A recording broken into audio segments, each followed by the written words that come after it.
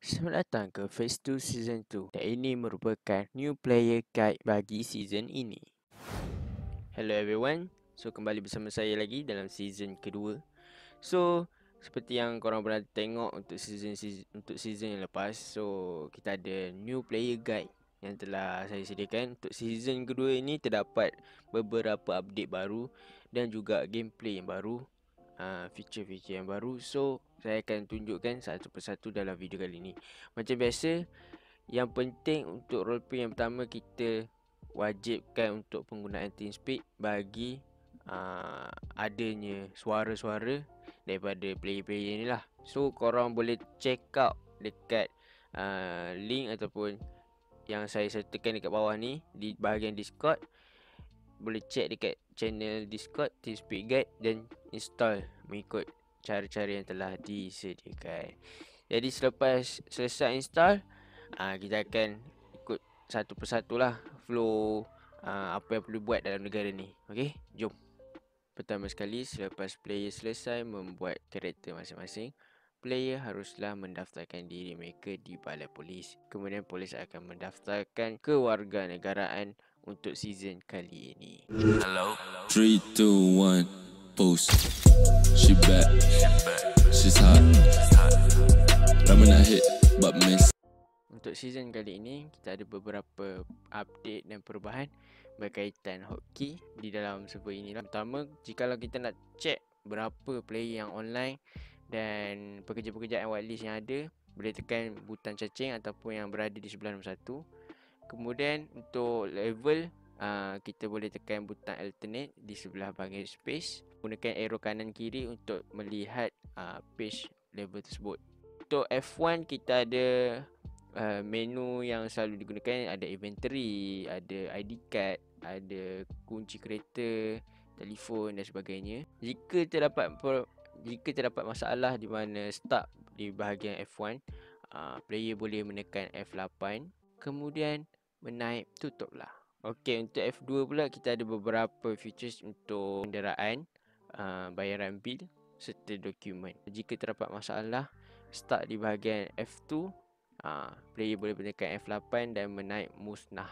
Di bahagian F3 player boleh melihat ID card, uh, boleh melihat job dan juga society dan sama juga jika terdapat uh, masalah di mana start di bahagian F3 uh, player boleh menekan F8 untuk menaik musnah kemudian uh, masalah tersebut selesai dan jika player tersangkut di bahagian inventory player hanya perlu menekan F8 dan menulis tutup.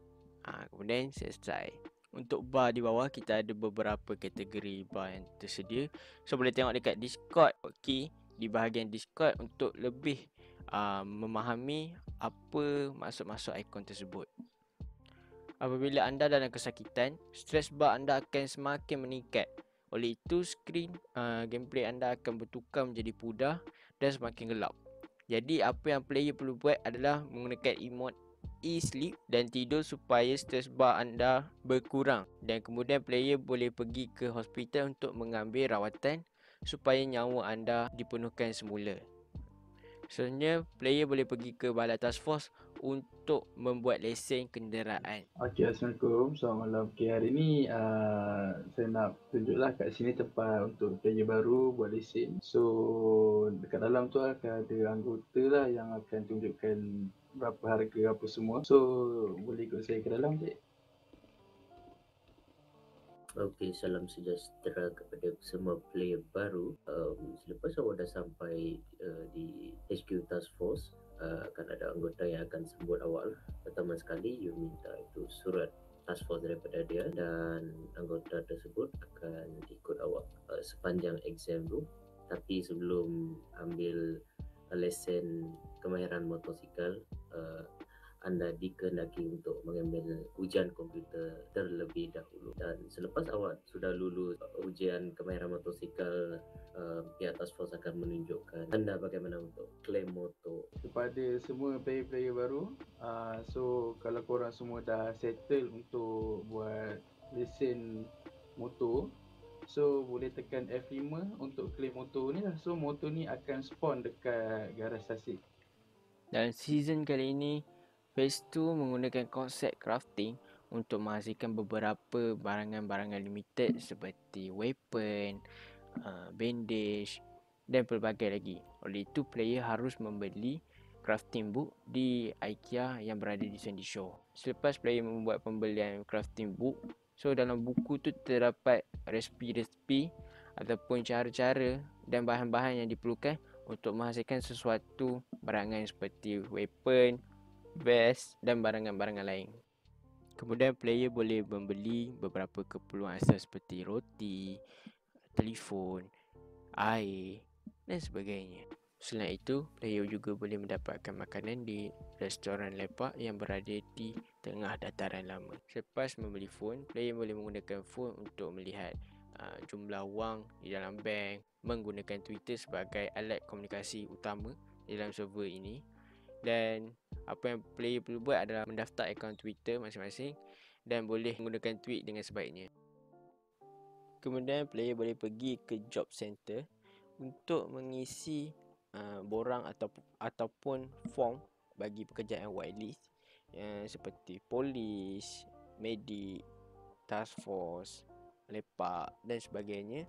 So dalam tu uh, apa yang perlu diisi adalah seperti nama dan sebab-sebab mengapa player ingin menjadi pekerjaan tersebut. Kemudian uh, sementara menunggu pekerjaan whitelist diterima, player boleh uh, memilih sama ada di bus driver ataupun petani dan menjadi rakyat biasa. Ini merupakan antara pekerjaan yang player boleh laksanakan bagi menaikkan jumlah pendapatan mereka serta setiap pekerjaan yang mereka lakukan memperolehi ASP untuk kenaikan level. Untuk update yang terbaru pada season ini, player boleh menekan butang Y untuk mengakses pakaian uh, dari segi membuka baju, membuka seluar ataupun aksesori-aksesori yang terdapat pada anggota badan player masing-masing. Okay, itu saja untuk new player guide pada season kali ini.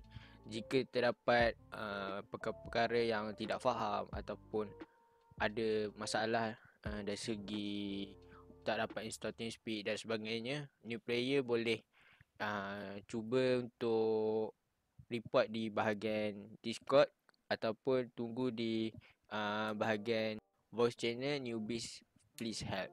So selamat datang ke phase 2 season 2 dan happy RP okay enjoy